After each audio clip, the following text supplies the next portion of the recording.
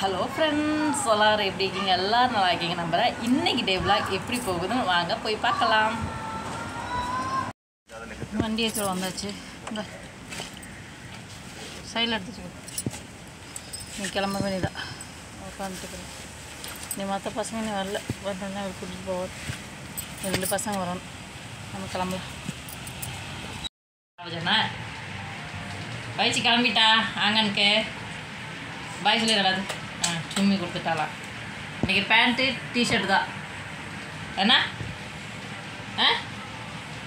தேக்குது? சரி அது பாய் சொல்லிடு கிளம்பியாச்சு. கொண்டு போய் விட்டுட்டு வரலாம். மணி மாதிரி பத்தாக போகுது. கொண்டு போய் விட்டுட்டு வந்தோன்னா நம்ம வீட்டு வேலைக்கு செய்யலாம் அது? சோட்டியே? டூட்டுக்கியா ஓ பிந்தி உடஞ்சி போச்சா? क्या कर लूँ? दूसरा लेके आएगी? दूसरा बिंदी लेके आएगी?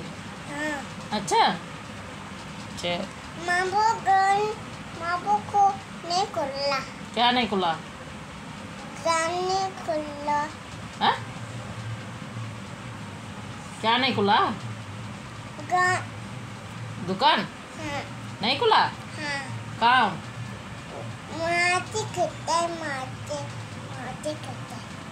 வாயாடி. உன்னை ஏன் இந்த மாதிரி ஸ்டைல் பண்ண சொல்கிறது ஆடு ஆடு ஆடு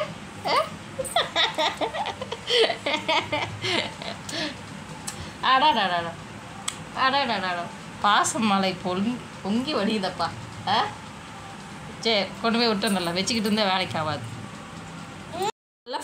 காலைல பருப்புக்காரன் வந்திருந்தான் பருப்பு கொஞ்சம் வாங்கினேன். இந்த பாசிப்பருப்பு வாங்கினேன். அப்புறம் இது வந்து அண்ணா வாங்கிட்டு வந்திருந்தார். நேற்றுக்கு இந்த சிறுதானியங்கள் கொஞ்சம் மூணு வாங்கிட்டு வந்திருந்தார். இதெல்லாம் கொஞ்சம் க்ளீன் பண்ணி வைக்கணும். இது பருப்பு வகைங்க. இது வந்து மைசூர் தால் இது வந்து அந்த இந்த மைசூர் தால் மேலே ஒரு தோலோடு இருக்கும். அந்த தால் தான் இது. அப்புறம் மாவு அரைக்கிறதுக்காக கொஞ்சோண்டு உடந்தால் வாங்கினேன். அதாவது உளுந்து வாங்கினேன். இது கருப்பு உளுந்து. கருப்பு உளுந்து பொட்டோட இருக்கும்ல அந்த உளுந்து தான் இது. இதுதான் இன்றைக்கி பருப்பு வைக்கணும். இது தால் மக்கினின்னு சொல்லுவாங்க. கண்டிப்பாக நாளைக்கு வீடியோ அப்லோட் பண்ணுறேன் இன்றைக்கி வராது உங்களுக்கு. இன்றைக்கி காலைல தான் வாங்கினேன் இந்த பருப்பெல்லாம் கொஞ்சம் வாங்கினேன். பருப்பு சில சமயம் இல்லைனாக்கா இந்த மாதிரி தான் ஸ்டோர் பண்ணி வச்சுக்கோ இப்போ இந்த இது மூணும் வந்து க்ளீன் பண்ணணும். இதை க்ளீன் பண்ணிவிட்டு அதுக்கப்புறமா நான் இதை பற்றி உங்களுக்கு டீட்டெயிலாக சொல்கிறேன் ஓகே மழையில்னால சரியாக வண்டியே ஓடலை. அதனால் எனக்கு கொஞ்சம் பட்ஜெட் ப்ராப்ளம் ஆயிடுச்சு இந்த மாதம் இப்போ தான் ஃபஸ்ட் ஸ்டார்டிங்கு இருந்தாலும் கா இந்த பத்து நாளுக்குள்ளே வந்து எல்லாம் வண்டிங்களுக்கெல்லாம் கொஞ்சம் பணம் கட்டி ஆகணும். அது கொஞ்சம் எடுத்து வச்சுட்டேன். என்னோடய பொட்டு பாருங்கள் அழிஞ்சது கூட தெரியாமல் நான் பாட்டுக்கு வீடியோ பண்ணி வீடியோ எடுத்துக்கிறேன் நான் அது கவனிக்கவே இல்லை. சரி அப்படியே அட்ஜஸ்ட் பண்ணிக்கோங்க. நீங்கள் தானே பார்க்குறீங்க அப்புறம் இந்த மாதம் வந்து எனக்கு ரொம்பவுமே பட்ஜெட் டைட் ஆயிடுச்சு. சரி இருக்கிறத வச்சு அட்ஜஸ்ட் பண்ணிக்கலான்னு சொல்லிட்டு நான் கேந்திரி பண்ணுறதுக்கு அனுப்பல. வாங்கிட்டு வந்து இந்த இங்கேயே வந்துச்சு கடை. அதாவது வண்டி வந்துச்சு. டெம்போவில் கொஞ்சம் சின்ன மினி ஆட்டோவில் கொண்டு வருவாங்க. அதில் தான் நான் பருப்புங்கெல்லாம் வாங்கினேன். எப்பயுமே வந்து ராமா ஸ்டோரில் வாங்கிட்டு வருது இல்லைன்னா இது கேந்திரி பண்டரில் வாங்கிட்டு வருவார் அவர். இந்த வாட்டி நான் லோக்கல்லே வாங்கிக்கிட்டேன். இவங்க விவசாயக்காரங்கெல்லாம் வந்து விற்றுட்டு போவாங்க அப்படியே. அதை தான் நான் இந்த வாட்டி வாங்கி அப்படியே ஸ்டோர் பண்ணி வச்சுக்கிட்டேன். சில சமயம் இந்த மாதிரி தாங்க பட்ஜெட்டெல்லாம் எனக்கு கொஞ்சம் ப்ராப்ளம் ஆகும்போது இப்படி இங்கே வர கடையிலேயே வந்து வாங்கிக்குவேன். அந்த ஒரு மாதம் மட்டும் எனக்கு ரன் பண்ணுறது கொஞ்சம் கஷ்டமாக தான் இருக்கும். ஏன்னா வேலைகள் சில சமயம் வந்து நல்லா ஓடும் சில சமயம் நல்லா ஓடாது. இப்போ லாங் ட்ராவல் போயிட்டு வந்தால் ஓரளவுக்கு எங்களுக்கு வரும். ஈவினிங் ஆயிடுச்சு நம்மளுக்கு பிளாக் காஃபி தான் எடுத்துக்கிட்டேன் அந்த எலுமிச்சம்பழம் போட்டால் தெரியுது பாருங்க வேறங்க டேஸ்ட்டே நல்லா இல்லை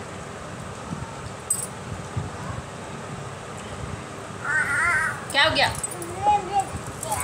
नाक कर गया नाक कर हाँ आराम से खाना चाहिए ना சரி ஓ உங்க ஆ ஆ பிளட்டே வந்துருச்சு மெதுவாக சாப்பிட வேண்டியதானே இப்படியே ஜோராக கடிப்பாங்க அடாடாடா அங்க பாருங்க இங்க பிளட்டே வந்துருச்சு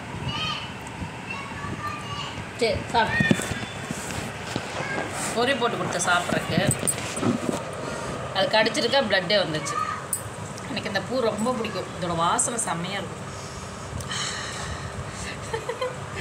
என் வீட்டுக்காரர்கிட்ட இந்த பூ க வந்தாலே சீசன் வந்துட்டாலே எனக்கு கொண்டு வர சொல்லிடுவேன் கொண்டு வந்துடுவார் சாமிக்கு வைக்கிறனோ இல்லையே எனக்கு வச்சுக்கிறேன் தலையில் பாரு எவ்வளோ பூ வச்சுக்கிட்டு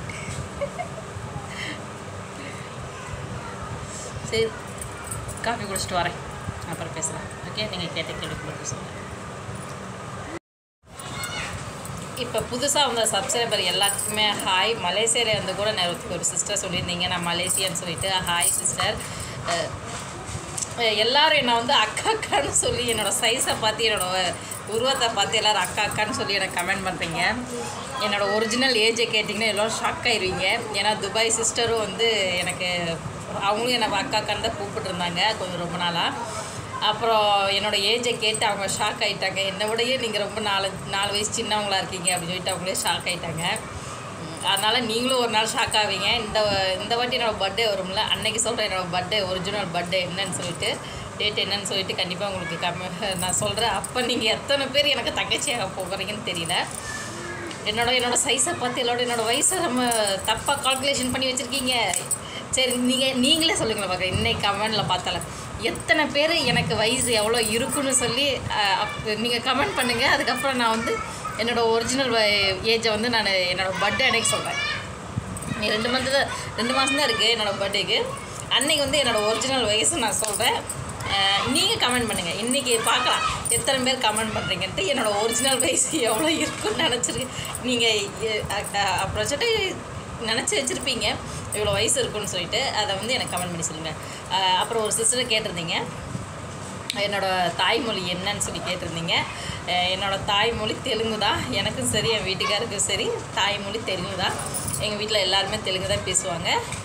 நானும் அம்மா அப்பா கிட்ட தெலுங்கு தான் பேசிகிட்டு இருப்பேன். எங்கள் ஃபேமிலி எல்லாருமே தெலுங்கு தான். என் வீட்டுக்கார ஃபேமிலி எல்லோரும் தெலுங்கு தான் பேசுவாங்க.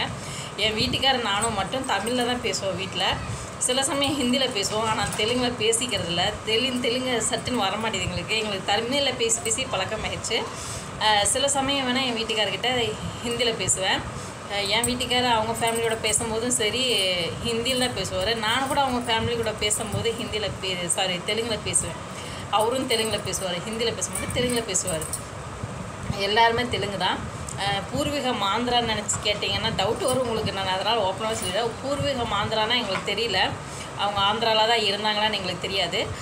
ஆனால் தெலுங்கு வந்து மேக்ஸிமம் எங்கள் ஃபேமிலியில் எல்லாருமே பேசுவாங்க. எங்கள் ரிலேட்டிவ் எல்லாருமே தெலுங்கு தான் பேசுகிறாங்க அவங்க இருக்கலாம் பூர்வீகம் ஆங்கி ஆந்திராவாக இருக்கலாம். ஆனால் ஆந்திரா தெலுங்குக்கும் எங்களோட தெலுங்குக்கு நிறைய டிஃப்ரெண்ட் இருக்குது ஆந்திராவில் எங்கள் ஃபேமிலிஸ் நிறைய பேர் இருக்காங்கன்னு கேள்விப்பட்டிருக்கேன். எங்கள் அத்தை கூட அந்த இடத்துல இருந்தாங்க. எங்கள் மாமா அந்த ஊரில் தான் கல்யாணம் பண்ணி கூட்டிகிட்டு வந்ததாக சொல்லி சொல்லிட்டு இருந்தாங்க. ஆனால் என்ன ஏதுன்னு எனக்கு தெரியல. டீட்டெயிலாக எனக்கு தெரியாது. எங்கள் ஃபேமிலியில் என்னோடய தாய்மொழி தெலுங்கு தான். எங்கள் வீட்டுக்காரரும் சரி எனக்கும் சரி. ஆனால் நான் பிறந்து வளர்ந்ததுனால த த கோயம்புத்தூரில் பிறந்தவங்க தமிழ்லேயே பேசி பேசி எனக்கு தமிழ் ஜாஸ்தி தமிழ் தான் பேசுகிறோம் என் தங்கச்சிக்கு தெலுங்கு தெரியவே தெரியாது. போன வாரம் கூட எனக்கு என்கிட்ட புலம்பிட்டு இருந்தேன் என் தங்கச்சி. அக்கா சொந்தக்காரங்க வீட்டுக்கெல்லாம் போனால் தெலுங்கில் பேச சொல்லி சொல்கிறாங்க அக்கா எனக்கு தெலுங்கே தெரிய மாட்டேங்குதேக்கா அப்படின்னு சொல்லி சொல்லிட்டு இருந்தேன். ஏன்னா பசங்களோட அவள் பேசி பேசி பழகி அவளுக்கு வந்து தெலுங்கே தெரியல. பேசுனா புரிஞ்சுக்குவாங்க. ஆனால் தமிழ் தெலுங்கு பேசி பேசுனது இல்லை அவள் பேசுனா புரிஞ்சுக்குவா. நான் வீட்டில் அப்பா அம்மா கிட்ட தெலுங்கு தான் பேசுவேன். அதனால் எனக்கு நார்மலாக தெலுங்கு வந்துடும் அதே மாதிரி இவரும் சரி தெலுங்கு தான் பேசுவார் எங்கூட மட்டும் தமிழில் பேசுவார். சில சமயம் ஹிந்தியில் கூட நாங்கள் ரெண்டு பேரும் அப்படியே ஜாலியாக பண்ணா பேசிக்குவோம். ஜாஸ்தி ஹிந்தியும் தமிழ் தான் எங்கள் ரெண்டு பேர்த்துக்கு வருது. எங்கள் வீட்டுக்கார் ரிலேட்டிவானா ரிலேட்டிவ் தான். அவர் எப்படின்னாக்கா அவரோட அத்தை பொண்ணு வந்து எங்கள் அம்மாவோட அண்ணி. பெரியம்மா பொ பெரியம்மா பொண்ணு பொ பெரியம்மா மருமக எங்கள் அம்மாவுக்கு பெரியம்மா மருமக. அதாவது எங்கள் அத்தை வந்து எங்கள் அத்தைக்கோட தாய் மாமா தான் என் மாமனார். புரியுதா? கன்ஃபியூஸ் ஆகிடாதீங்க ரிலேட்டிவ் தான். என்னோடய ஸ்டோரிஸ் எல்லாம் போட்டிருக்கேன் வேணா போய் பாருங்கள் எப்படி மேரேஜ் ஆச்சு எப்படி என்ன ஏதுன்ட்டு. இவரை பற்றி நான் எல்லாம் சொல்லியிருப்பேன். இவரை நான் கல்யாணம் முன்னாடி பார்த்தது கிடையாது. கல்யாணம் தப்போ தான் இவரை நான் பார்த்தேன். ஆனால் எங்கள் மாமியார் மாமனார் முதல்லயே எனக்கு தெரியும்.